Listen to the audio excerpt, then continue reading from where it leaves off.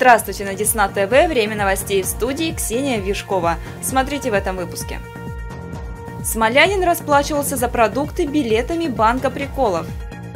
Согласно заключению эксперта, указанные билеты изготовлены не по технологии акционерного общества «Гознак», выполнены способом цветной плоской печати. Новогодний концерт по сказке «Щелкунчик» и «Мышиный король» с участием творческих коллективов города. Помогла тебе, и мы вместе смогли одолеть эти злые чары. Иначе и быть не могло. Третий межрегиональный конкурс, посвященный памяти Виктора Павловича Дубровского.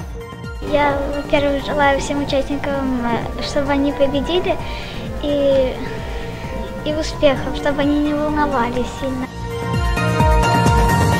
В полицию города Вязьма обратился хозяин продуктового магазина. У него возникли сомнения в подлинности двухтысячной купюры, которой несколько минут назад расплатился неизвестный. Подробности истории далее.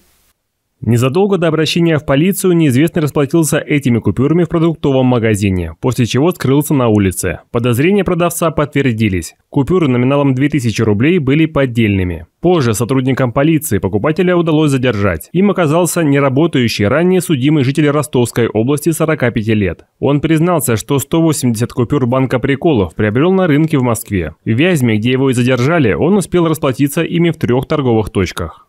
В настоящее время подразделениями дознания межмуниципальных отделов МВД России Вяземский и Гагаринский возбуждены уголовные дела по признакам преступления, предусмотренного частью 1 статьи Уголовного кодекса Российской Федерации «Мошенничество».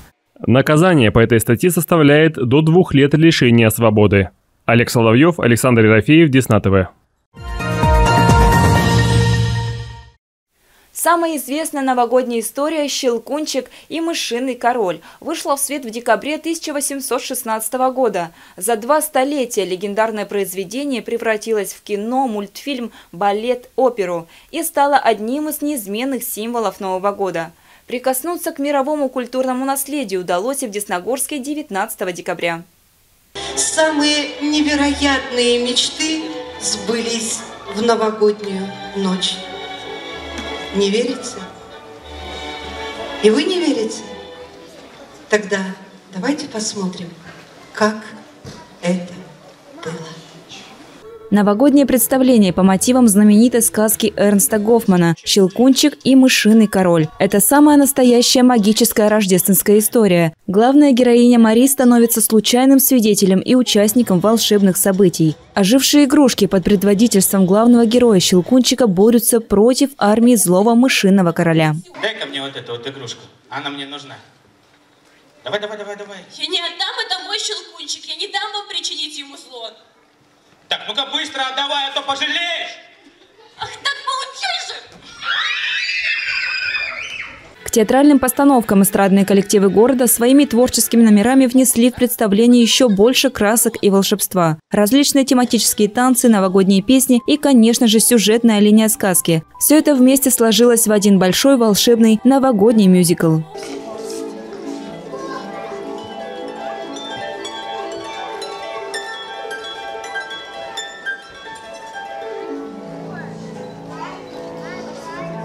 Конечно же, как и в любой рождественской истории, добро должно победить зло. Эта сказка не исключение. Как оказалось, Щелкунчик – самый настоящий принц. Спасти его от колдовства и заточения может лишь любовь прекрасной девушки, которой и оказалась главная героиня Мари. Я счастлива, что помогла тебе.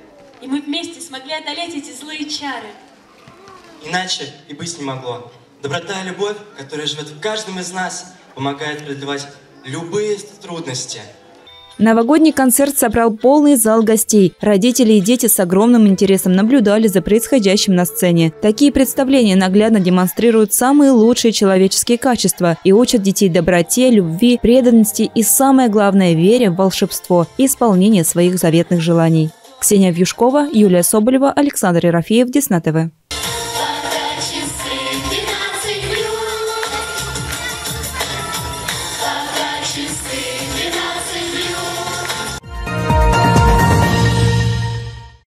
Виктор Дубровский – заслуженный артист, дирижер, скрипач. Он внес значительный музыкальный вклад в развитие музыки и культуры как в Десногорске, так и в Смоленской области. 20 декабря в Десногорской детской музыкальной школе прошел конкурс, посвященный его памяти. В 1986 году тогда еще в поселок Десногорск приехал знаменитый советский и российский дирижер Виктор Дубровский. По приглашению первого директора детской музыкальной школы Галины Мозголиной он начинает работать в школе и становится руководителем класса скрипки, ну а после основателем оркестра русских народных инструментов. Теперь в музыкальной школе имени Глинки проводят различные культурные мероприятия в честь памяти этого знаменитого и талантливого человека. В нашей школе э, важное событие, э, важное культурное событие, потому что конкурс, который проходит в нашей школе, он проходит не так часто, проходит раз в два года. Это третий межрегиональный конкурс, посвященный памяти Виктора Павловича Дубровского. Коллектив музыкальной школы гостеприимно встретил всех участников конкурса. В этом году мероприятие обрело значительную популярность. 68 молодых участников в возрасте от 8 до 15 лет приехали из разных городов Смоленской области. Оценивали мастерство юных музыкантов опытные преподаватели музыкальных школ. После торжественного открытия начались прослушивания, которые проходили сразу в двух залах. А пока участники ждали своего выхода на сцену, мы решили узнать, насколько они готовы к конкурсу. Я, во-первых, желаю всем участникам, э, чтобы они победили и, и успехов, чтобы они не волновались сильно. Конкурс проходил по нескольким направлениям – гитара, скрипка, домбра-балалайка и баян-аккордеон. Участники в течение всего дня демонстрировали свое владение музыкальными инструментами и играли различные знаменитые произведения на сцене, где когда-то выступал сам Виктор Дубровский. Ксения Вьюшкова, Александр Ерофеев, Десна ТВ. На этом выпуск завершен. Больше интересного на нашем сайте desna-tv.ru, а также в наших официальных группах в социальных сетях ВКонтакте, Одноклассниках, Фейсбуке и Инстаграм. В студии работала Ксения Вьюшкова. До новых встреч!